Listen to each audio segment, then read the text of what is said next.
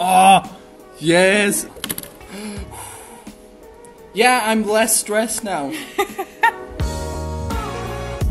I'm so nervous. You're nervous? I'm so nervous. Are you? Because this uh, is a movie that we reference the most, and we always talk about this Yeah, movie, and it's I- just, it's so. Ugh. I know what we're reacting to. Watched this? no, no, but I just know. You're so glued to the screen already. Yeah, already. it already starts really well. I love this font. Spider Verse, my beloved. It's nice how excited you are for this. I get I get goosebumps just the sound effects. Uh, Like like texturing, man. It's always the texturing that's like. That's the way the the last one st- uh, ended. I mean, Hell yeah. Oh yeah, that's the end of the last movie, right? Wait, he has a comic book about him now. That's awesome. oh, yes. oh, that looks so cool. Is he older? Yeah. Look at him. Yeah. He's triangle Dorito. Uh, Everything That's- looks that's so chromatic cool. aberration. Yeah, the lines. I'm so fucking happy. Ah, the hands look so good. I love her. Look Ooh. He's in I love. I want to know. Yeah, of course he's in love. I wish I could draw like that, honestly. You can. No, I can't. Her hair. yeah, it's pink at the Yeah. end.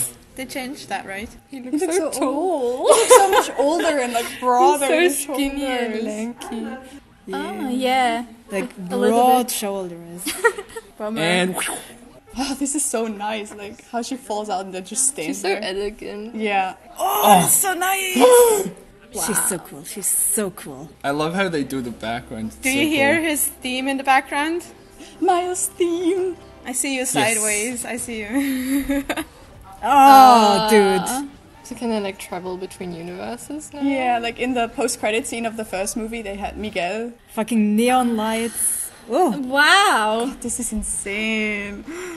Yo, what the fuck? This is a style change. I Wow. would like to have their shader. Oh, oh, oh, oh. What, what's his name? He's uh, uh, uh, Spider-Man 2000 uh, 99. or something. Yeah, isn't his name Miguel? Yeah, yeah, yeah, yeah, yeah.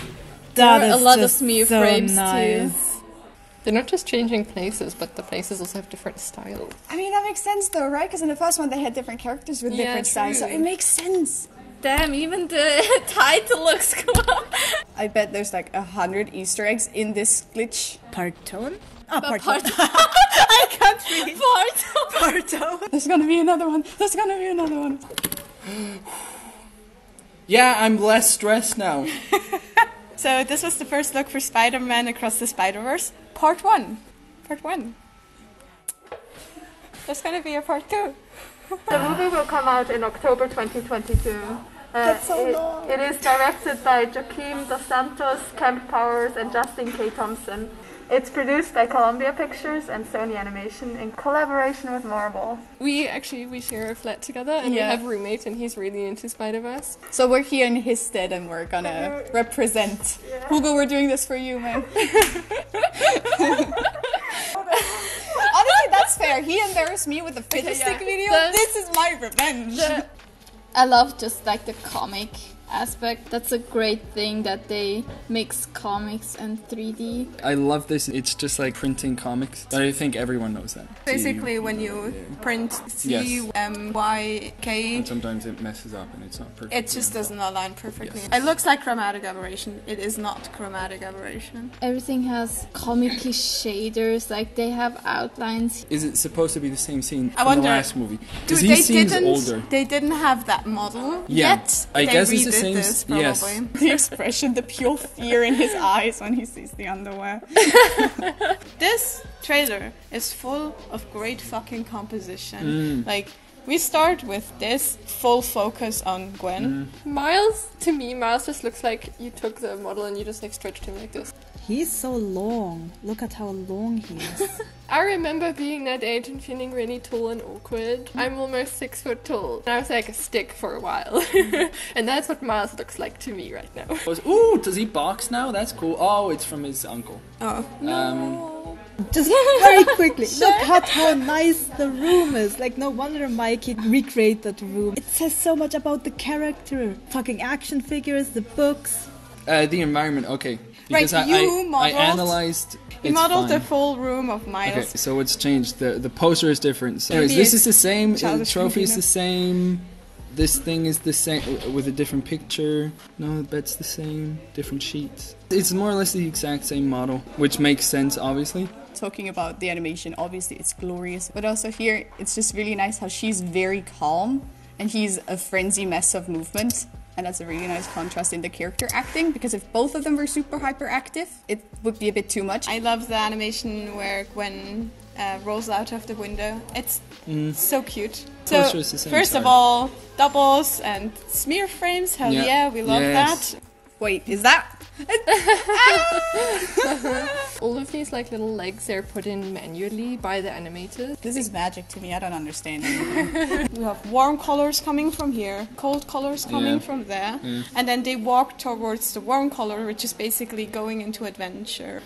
Frame in frame, that's a common technique. And then we get those doubles here that they love to mm. use. Mm. It's not doubles in the way of smear frames, it's mm-hmm. like how they make stuff look out of focus in Spider Verse. Yeah. Theoretically, if somebody falls out of the window, that would not be enough time for her to already stand up straight. Especially because also she puts her mask on in the time and it just really shows how quick and precise she is. Look at that. It's so nice and so much tension in her body. Fucking like sinus curve or something. Like this is like straight and then her legs do this.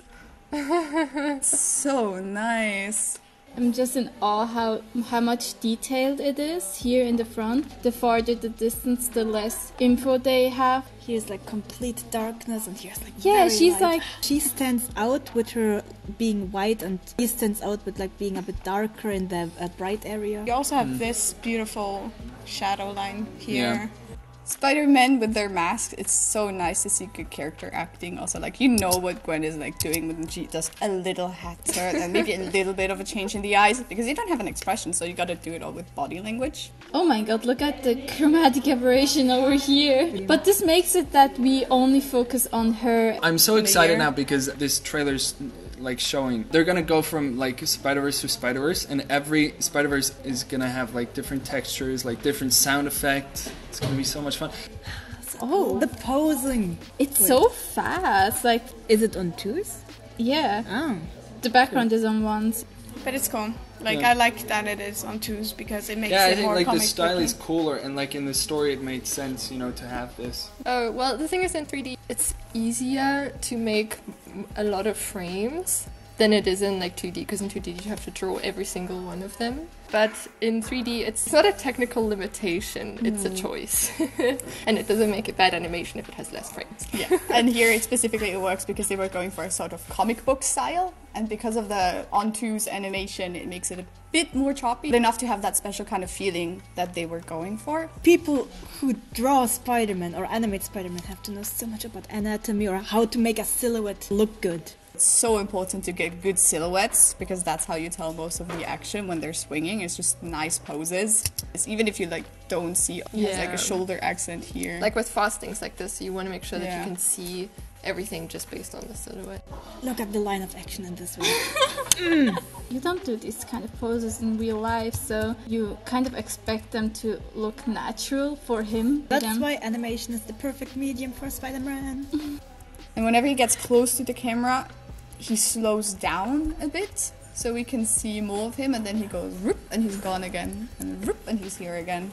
And they stay on this really long Also, I like how they like in in the character because he's pretty much just like a black shape. They use these red shapes to distinguish the form, so that when they go into each other, you can still separate them. The action lines they're all like drawn over, very textured action of- lines that fit with the style of the background. Look at the smear frame, they are definitely drawn out. There's some yellow rim lines that actually pop off with the.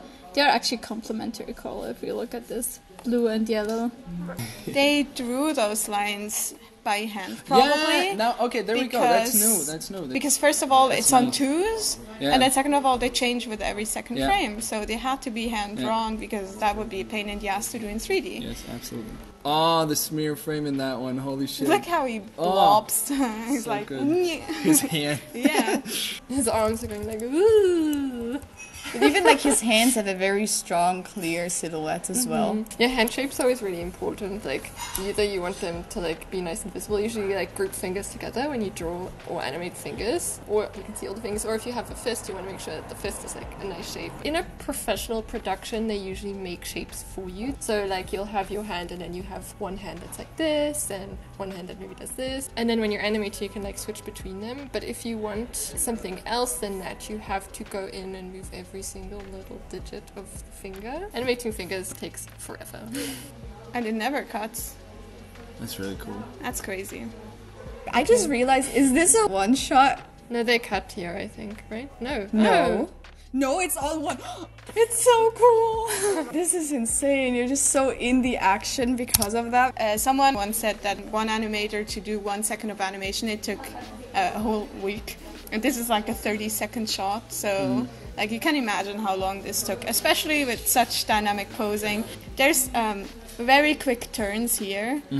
Then he goes like wee. It's so Oh, what's oh, happening here? I didn't notice that the first time I watched it. yeah, it. same. That's so funny. It's so cute. It's like, oops, uh, it becomes a clothes hanger for a second.